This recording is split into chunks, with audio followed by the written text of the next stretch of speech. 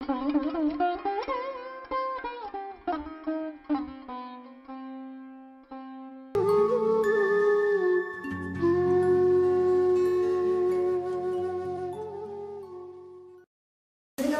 ନମସ୍କାର ବସ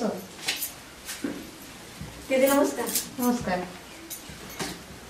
ବସ ହଁ କ'ଣ ହେଲା କୁହ? ଦିଦି ଦେଖନ୍ତୁ ନା ଏବେ ସେ ଜୋରେ ଜୋରେ ନିଶ୍ୱାସ ନେଉଛି। କାଶ ସର୍ଦ୍ଦି ଜ୍ୱର ବି ଆସୁଛି। ଚିନ୍ତା କରନି ମୁଁ ଏବେ ଦେଖିଦେଉଛି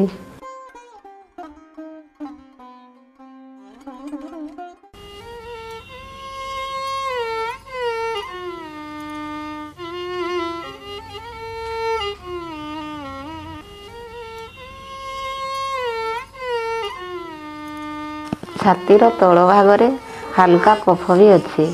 ନିଶ୍ୱାସ ନେଲା ବେଳେ ଗର୍ଭର ବି ଶବ୍ଦ ହେଉଛି। ପୁଅ ଦେହରେ ନିମୋନିଆର ଲକ୍ଷଣ ଦେଖାଯାଉଛି। ଭଲ ହେଲା ଶୀଘ୍ର ଏଠାକୁ ନେଇ ଆସିଲ। ଯଦି ଥଣ୍ଡା କାଶ ଜ୍ୱର ବ୍ୟତୀତ ଛୁଆର ନିଶ୍ୱାସ ଜୋର ଜୋରରେ ଚାଲେ ବା ଶୋଇକି ସଁ ସଁ ହୁଏ ଆଉ ସେ ଯଦି କିଛି ଖାଉନି ବା ତାକୁ ଜୋରରେ ଜ୍ୱର ଆସୁଛି ତାର ହାତ ପାଦ ଓଠ ଯଦି ନୀଳ ଦେଖାଯାଉଥାଏ ଏମିତି ହେଲେ ଯେତେ ଶୀଘ୍ର ପାରିବ ତାକୁ ସ୍ୱାସ୍ଥ୍ୟ କେନ୍ଦ୍ରକୁ ନେଇ ପରୀକ୍ଷା କରେଇ ନେବା ଉଚିତ। ଏମିତି ନ କଲେ ଯଦି ଡେରି କଲ ତୁମେ ତାହେଲେ ଛୁଆର ଜୀବନ ପ୍ରତି ବିପଦ ଅଛି। ପିତା ତୁମ ଛୁଆକୁ ନିମୋନିଆର ଟୀକା ଲଗେଇଥିଲ? ନା ତ ଏପର୍ଯ୍ୟନ୍ତ ଲଗେଇନି। ଗୀତା ଛୁଆକୁ ନିମୋନିଆର ତିନୋଟି ଟୀକା ଲଗେଇବା ଜରୁରୀ ଅଟେ।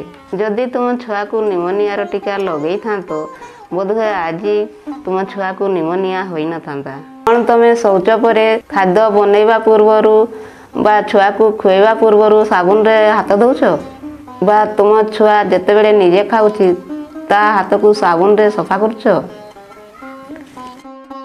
କେବେ କେବେ ତ ଧୋଇଥାଏ। କେବେ କେବେ ନୁହଁ ଗୀତା ସବୁବେଳେ ହାତ ଧୋଇବା ଦରକାର। ପରିବାରରେ କାହାକୁ ବି ବାହାରକୁ ଶୌଚ କରିବା ପାଇଁ ଯିବା ଉଚିତ ନୁହଁ। ଘରେ ଶୌଚାଳୟ ବନେଇ ଶୌଚର ଅଭ୍ୟାସ କରିବା ଜରୁରୀ ଅଟେ। ଏହା ପରିବାରର ସଦସ୍ୟଙ୍କ ସ୍ୱାସ୍ଥ୍ୟ ପାଇଁ ବହୁତ ଜରୁରୀ ଅଟେ। ଯଦି ପରିବାର ସୁସ୍ଥ ତ ଛୁଆ ବି ସୁସ୍ଥ। ଆଉ ପିଇବା ପାଣି? ପିଇବା ପାଣି? ପିଇବା ପାଣି ତ ମୁଁ ରୋଷେଇ ଘରେ ହିଁ ରଖିଥାଏ ପୁରା ସଫା ଜାଗାରେ। କିନ୍ତୁ ପିଇବା ପାଣି ଢଙ୍କା ହେଇଥାଏ? ହାତ ସବୁବେଳେ ସାବୁନରେ ଧୋଇକି ପାଣି ବାହାର କରିବା ଦରକାର। ଆଉ କେବେ ବି ପାଣିରେ ହାତ ବୁଳେଇବା ଉଚିତ ନୁହେଁ। ଛୁଆକୁ ଚୁଲିର ଧୂଆଁ ଠାରୁ ଦୂରରେ ରଖିବା ଦରକାର। କୌଣସି ପ୍ରକାର ବି ଧୂଆଁ ଛୁଆର କ୍ଷତି କରିଥାଏ। ଏହା ସହିତ ଘରର ସଫାସଫିରେ ବି ଧ୍ୟାନ ରହିବା ଦରକାର।